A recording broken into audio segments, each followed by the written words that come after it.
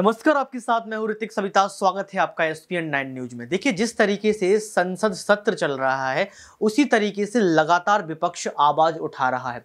वैसे तो विपक्ष की आवाज़ को दबा दिया जाता है, ऐसा मैं नहीं कह रहा हूँ, ऐसा राहुल गांधी कहते हैं, जयराम रमेश कहते हैं, तमाम विपक्षी नेता कहते हैं कि जब हम संसद में आवाज़ उठाते हैं तो हमारा माइक ऑफ़ कर दिया जाता है। और राहुल गांधी दिखाते भी हैं कि, देखिए, मेरा माइक ऑफ़, देखिए, मेरा माइक ऑफ़, देखिए, मेरा माइक ऑफ़। ऐसा राहुल गांधी बोलते हुए नज़र आ रहे हैं। लेकिन जिस तरीके से संसद सत्र चल रहा है, यहाँ पर बीजेपी को, जी हाँ, बीजेपी को मुँह की खानी पड़ रही है। लगातार विपक्ष बीजेपी को घेर रहा है और तमाम मुद्दों पर जो है अपनी चर्चा कर रहा है, उस पर सवाल कर रहा है। देखिए, इमरान प्रतापगढ़ी ने बहुत बड़ा मुद्दा उठा दिया है।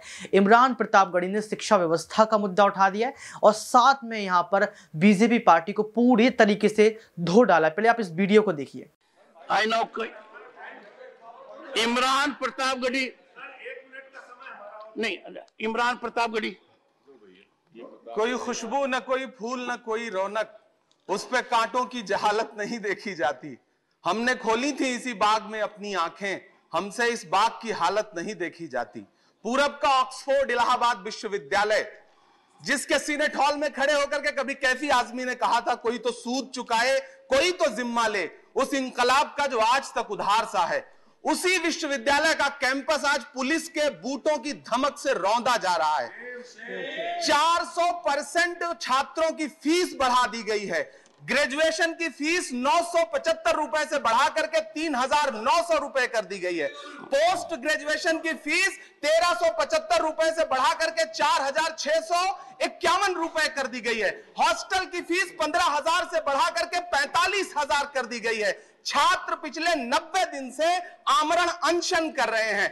जिस विश्वविद्यालय ने इस देश को पंडित मोतीलाल नेहरू दिया, पंडित मदन मोहन मालवीय दिया डॉक्टर जाकिर हुसैन दिया, शंकर दयाल शर्मा दिया, विश्वनाथ प्रताप सिंह दिया, चंद्रशेखर दिया, महादेवी वर्मा दिया, अर्जुन सिंह दिया फिराज गोरखपुरी दिया, उसे हम क्या दे रहे हैं? सरकार ने कह दिया कि फंड कम है, छात्रों से वसूली करके खर्चे पूरे करो।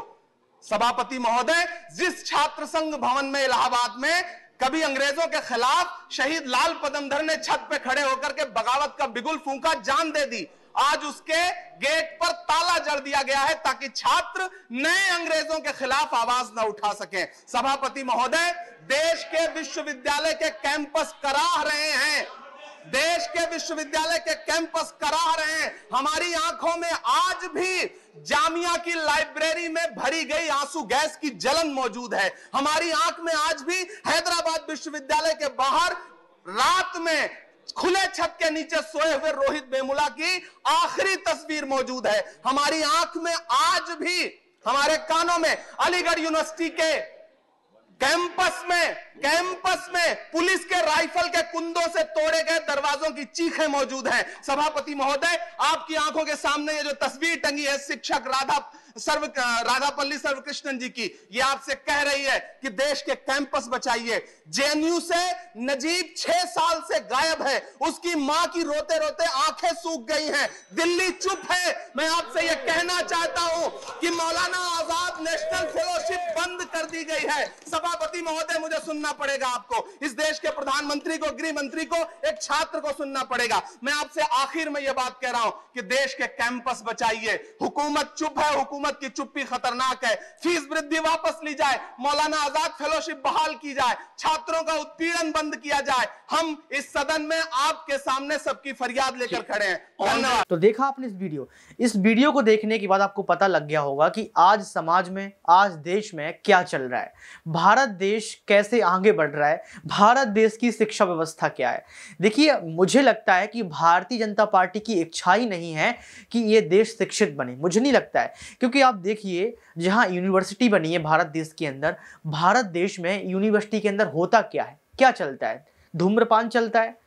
लगातार बच्चे लड़ते हैं और प्रोफेसर कुट जाते हैं, पिट जाते हैं, पुलिस प्रशासन पहुँच जाता होता क्या इसके अलावा? इसके अलावा दंगे हो जाते हैं, इसके अलावा आग लग जाती है, इसके अलावा प्रोफेसर की गाड़ी का टायर पंचर कर दिया जाता है और इसके अलावा आपको कुछ दिखता है, पढ़ाई होती है। अगर पढ़ाई होती होती तो आज आज हमारा देश का युवा समझदार होता और ये समझता होता कि हमारे लिए क्या सही है। और हमारा देश का जो युवा पढ़ा लिखा हुआ है, वो बेरोजगार घूम रहा है। सरकार उसको रोज़गार नहीं दे रही है। तो इमरान प्रतापगढ़ी ने पूरी पोल खोल दी। इमरान प्रतापगढ़ी ने यहाँ पर जामिया मिलिया इस्लामिया के दंगे के बारे में भी ज़िक्र कर दिया। उन्होंने साफ़ तौर पर बता दिया किस तरीके से हमारे भारत देश में जो है दंगे कराए जाते हैं और दंगे हो जाते हैं, उसमें भारतीय जनता पार्टी कुछ भी नहीं करती। तो आप बताइए कि भारतीय जनता पार्टी की मानसिकता क्या है? क्या भारतीय जनता पार्टी मोदी की सरकार इस देश को शिक्षित करना नहीं चाहती? आप बताइए कि जिस तरीके से यह राजनीति खेली जाती है, शिक्षा व्यवस्था को लेकर, वो कैसी राजनीति आप मुझे बताइए, क्योंकि अगर आप शांत रहेंगे तो यहाँ पर जैसे संसद में माइक ऑफ़ कर दिया जाता है, ऐसे आपके क्षेत्र का माइक ऑफ़ कर दिया जाएगा, आपकी आवाज़ को ऑफ़ कर दिया जाएगा, और फिर आप फड़फड़ाते रहेंगे। क्यों? क्योंकि द प्रिंट ने छाप दिया है कि 2014 के बाद जी हाँ 2014 के बाद जब से मोदी सरकार बनी है, तब से देश में जो है तानाशाही फैल रही है। तो आप समझ सकते हैं कि अगर आपको तानाशाही मुक्त भारत चाहिए तो आपको आवाज़ उठानी पड़ेगी, क्योंकि संसद सत्र होता है। संसद सत्र में जब विपक्ष आवाज़ उठाता है तो विपक्ष की आवाज़ को सिर्फ़ दो या तीन मिनट तक ही सुना जाता है। उसके बाद बीजेपी पार्टी के नेता अपनी चाटिकारता करने लगते हैं, अपनी आवाज़ को उठाने लगते हैं। लेकिन मैं आपसे बार बार पूछ रहा हूँ कि जो इमरान प्रताप गढ़ी ने इस वीडियो में बात कही, जो वीडियो में आपने बातें सुनी है, उससे क्या आप सहमत हैं? आप मुझे बताइए। दूसरा सवाल मैं आपसे ये लूँगा कि आप मुझे ये भी बताइए कि भारत की शिक्षा व्यवस्था में कैसे सुधार होगा? क्योंकि आपको पता है कि भारत देश के स्कूलों की क्या हालत है। भारत देश की यूनिवर्सिटी का क्या हालत है? कॉलेज हमारे भारत देश के कैसे हैं? प्रोफेसर कैसे बन जाते हैं? तो आप मुझे ये बताइए कि भारत देश में शिक्षा व्यवस्था कब सुधरेगी? तीसरा सवाल मेरा आपसे ये रहेगा कि आप मुझे लगातार ये बताइए कि हमारे देश का युवा जो पढ़ा लिखा हुआ है, जो शिक्षित है, जो रोज़गार है जो पूरा समझदार है, रोज़गार तो है ही नहीं भारत में, इसके लिए मैं क्षमा चाहूँगा। तो आप मुझे बताइए कि हमारे देश के युवा आउट ऑफ़ कंट्री क्यों चले जाते हैं? आउट ऑफ़ कंट्री का जो है नाम ऊँचा क्यों करते हैं? हमारे देश के युवा होते हैं तो भारत में क्यों नहीं ठहर पाते क्या इसमें सबसे बड़ा कारण यही बीजेपी पार्टी का है? क्या सबसे बड़ा कारण रोज़गार का है? आप मुझे कॉमेंट बॉक्स में ज़रूर बताएँ।